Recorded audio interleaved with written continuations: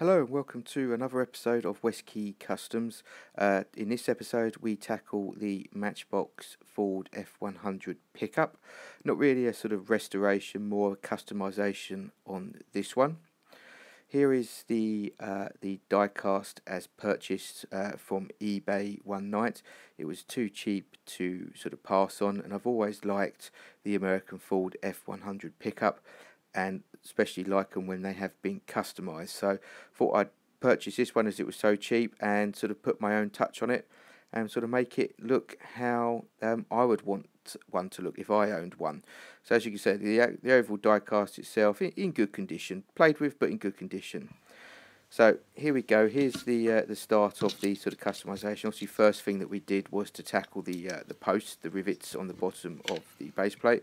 So just simply sort of drill out the heads on these ones. Two heads that needed drilling out, uh, one at the front, one at the back. So carefully drill out the head, making sure you don't go down too far, because um, at the moment I don't know how much sort of um, metal is behind the rivet some cases you look at it, it's hardly anything uh, behind there. Um, in this case, I think I'm pretty lucky on this one, and actually had quite a bit of uh, quite a bit of meat left. Um, quite a tough one. This the rivets were quite actually uh, well into the base, so needed to actually drill the heads off a couple of times to make sure they were fully clear. Um, wanted to be a bit cautious as well because this die cast has a plastic base.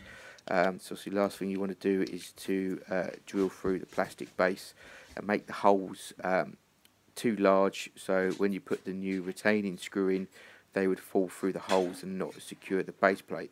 So what I've decided to do is I've drilled them out as much as I really want to drill them out.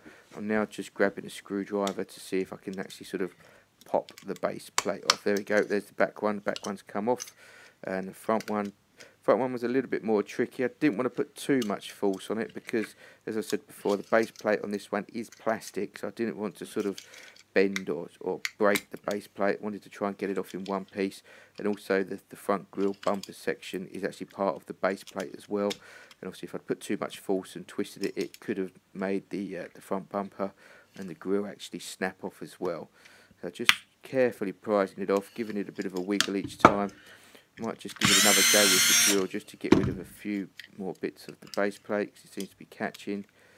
Sure, it's going to come off in a minute. Just needs a bit of gentle persuasion. There we go, and it's off. So there's the base plate. Uh, so it's plastic, obviously chrome plated on this one.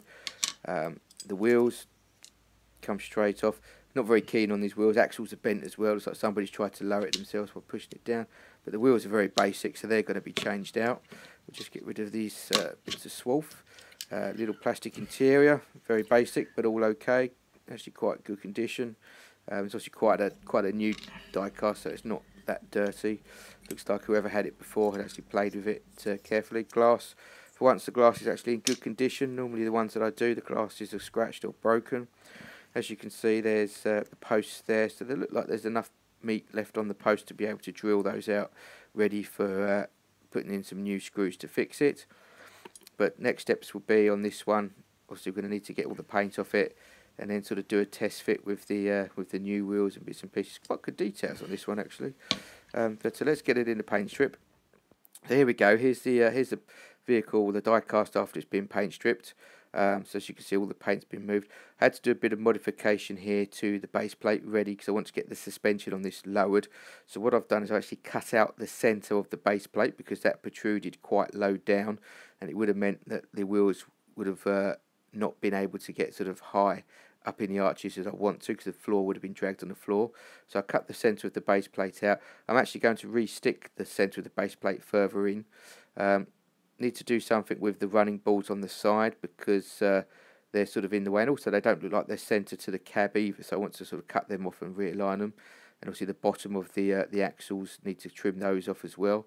These are the wheels I'm going to use and as you can see if I put them roughly where I want them to be in the arch you can see that it's not going to roll because the uh, the bottom of the axles protrude further.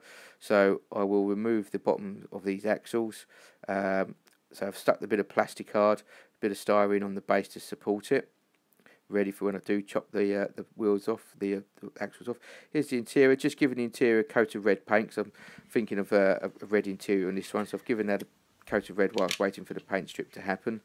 Um, what I'll need to do now is I'll need to um, remove some of the uh, some of the base plate bits here and there to make sure there's adequate room for the wheels to move. So I need to open up the uh, the inner arches as well on this one just to allow enough room for the wheels to tuck up inside the arches, uh, enable for them to to move. So here we go. Here's the uh, here's a dummy run of how it will look in bare metal fix the axles onto the base plate and as you can see it rolls nicely and I've lowered the suspension on it which I think suits the die cast uh, a lot better in this case and actually quite happy with the wheel choice as well. I've had these wheels kicking around for a little while just waiting for the right car and I think this is the right one. As you can see I had to uh, make a bit of a cut in the uh, bed floor to open up to allow the axles to sit and I've also made a couple of uh, arch inner arch tubs to cover the inside of the wheels also ground a lot of the base underneath away to sort of make access for the wheels. As you can see, the plastic hard styrene base uh, reinforcer I've put on, and there you can see the original part of the uh, base plate, which I've actually put back in, but it actually sits lower now because I've recessed it into the uh, into the base plate. But now it rolls. Also, I did what I said. I cut the uh, the running boards off of the off of the frame of the base plate and moved them up, and also aligned them so they actually fit a bit better with the body. Um, here you go. I've got a couple of uh, hat pins which I've just bent into little uh, door mirrors. These will go on the uh, on the die cast when it's all painted up. Just simply got a hat pin and bent them round. Um, as you can see, the base fits on the body fits nicely on the base, and it rolls. And uh, yeah, happy how this one turned out. So here we go. Here's the finished um, die-cast, the finished model before we sort of uh, put it together. As you can see, base plate all painted up. Just painted it some satin black um, just to sort of make it look a bit neater. Didn't bother painting the inside because you're not going to see that. But it's uh, it's all on there. The chrome I've touched up as well. Base plates, uh, the running boards, as you can see, I've moved them up as well. Can't really see them here because I've painted them black to match the body, but uh, moved them up and relocated them so they actually sit aligned better with the main cab of the body. Glass, all I did on the glass is I actually cut the quarter glasses down because the quarter glasses protruded past the pillar and they looked a bit uh, bit strange as to why they were there. So I actually cut the quarter glass down so it's got a single window, um, which is a common sort of upgrade on these vans, on, on these uh, pickup trucks. Um, base uh, made a bed floor there out of a bit of styrene with some uh, vinyl wood wrap on it. Um, here's the base all painted up and detailed. Uh, as you can see, painted all the back. Uh, it's got a little bit of silver silver sticky stripe there for where I did the uh, the wood floor. Painted it all up, fitted door mirrors, just poked them through the holes and uh, glued them in on the inside. Holes have been drilled out, ready for the to be secured. So let's put it all together. And here we are, here's the finished model. So as you can see, all put together now. Sprayed it gloss black, uh, which I think looks very good on, on these models. I think if I remember rightly, Chip Foose has got one in this colour, and uh, I've always liked that uh, addition of Overhaulin'. I think his truck looks nice. But yeah, overall, very happy with how this one turned out. It was meant to be just a quick, simple little project, just a colour change and new set of wheels, but obviously got a lot more involved having to modify the chassis and the underneath to allow the new wheels to fit and to lower the suspension and to allow it to roll. But yeah, overall, very happy with this one. Um, turned out just how I wanted it to look. Don't think I'd do anything different to this one. Um, so I just wanted it plain and simple, gloss black, lowered suspension and a nice set of wheels just a few more details just to bring the uh, the model up to uh, a better sort of standard to how it was when it was released by Matchbox.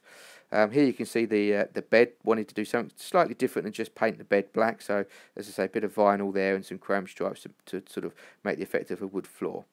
So thanks for watching this edition of uh, West Quay Customs. Hope you enjoyed the Matchbox customization. Uh, wasn't really say restoration, more just a custom because the actual die cast itself was in good condition.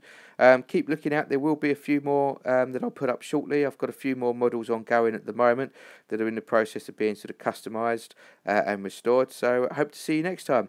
Thanks again for looking and please subscribe if you want to see some more. Thank you.